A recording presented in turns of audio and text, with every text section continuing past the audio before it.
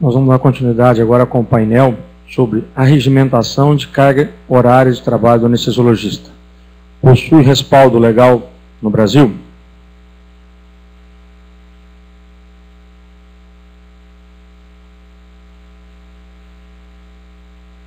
E para fazer a primeira palestra, a gente vai convidar o Dr.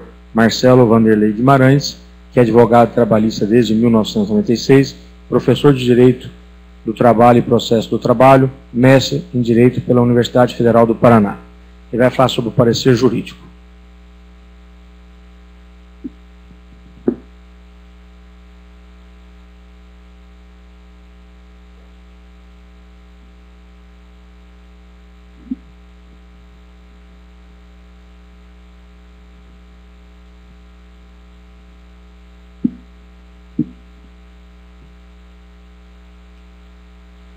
Boa tarde a todos. É, inicialmente, eu gostaria, gostaria de agradecer o convite, é, Dr. Ricardo, Dr. Paulo, Dr. Eneida, pessoas com quem eu tive contato previamente. E, além do agradecimento, eu gostaria também de parabenizar a organização do evento como um todo, porque é muito importante é, a gente perceber que esse tipo de assunto, saúde ocupacional, está sendo trazido para dentro da casa que cuida da saúde. Porque normalmente a gente tem que enfrentar aquele dito, aquela máxima popular, casa de ferreiro, espeto de pau, e esse tipo de evento é, mostra que existe uma preocupação interna corporis para resolver esse tipo de assunto que tem consequências enormes e consequências gravíssimas é, para a saúde, não apenas de vocês que estão aqui, né, os médicos que cuidam da saúde alheia e precisam cuidar também da sua própria saúde, mas consequências sociais que são terríveis e são é, extremamente graves. O tema que coube a mim é, diz respeito à jornada de trabalho dos médicos em geral, mas vou falar um pouquinho também especificamente a respeito da questão do anestesiologista especificamente. Muito bem.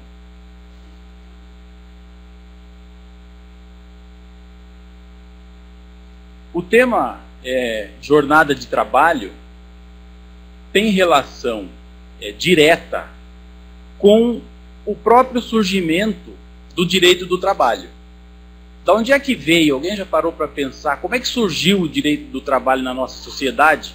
Por que é que existem leis é, elaboradas pelo Estado para proteger uma das partes numa relação trabalhista. Essa imagem que vocês estão vendo aqui na tela é uma imagem do século 29. É na verdade 19, sim.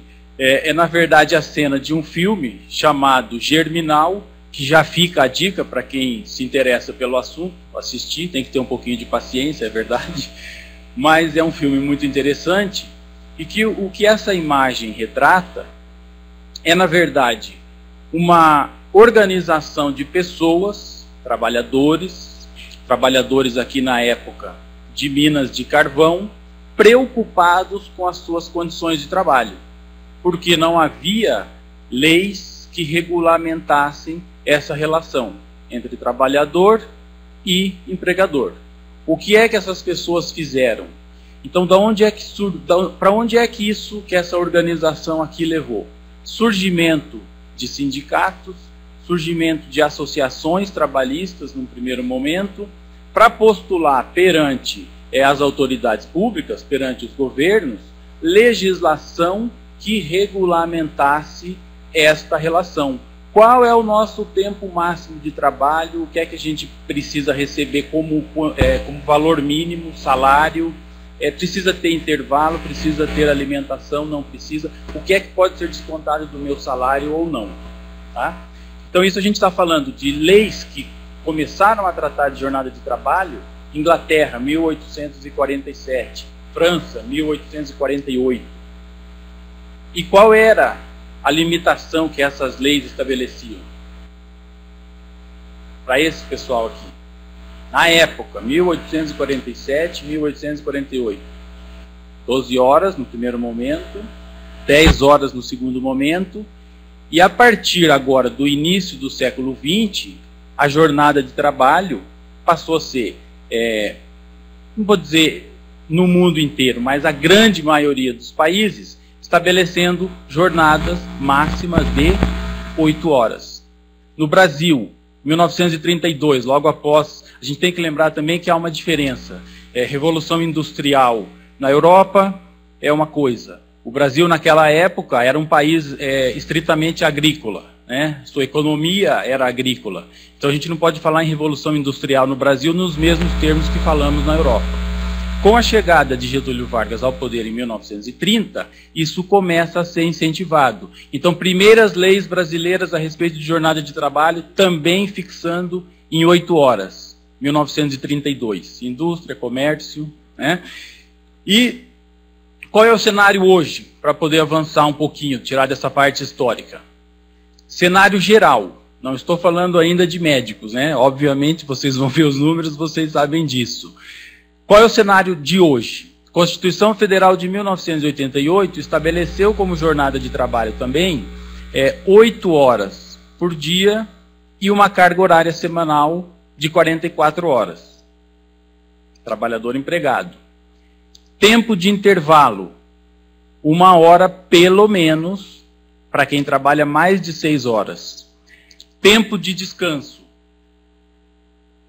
Está um pouquinho apagado ali. Tempo de descanso: 11 horas entre dois, entre dois dias trabalhados. Descanso de final de semana: 24 horas. Somando-se as 24 horas com as 11 entre dois dias, nós temos é, 35 horas de descanso. Então, quer dizer, isso aqui é o que se aplica para a generalidade dos trabalhadores empregados.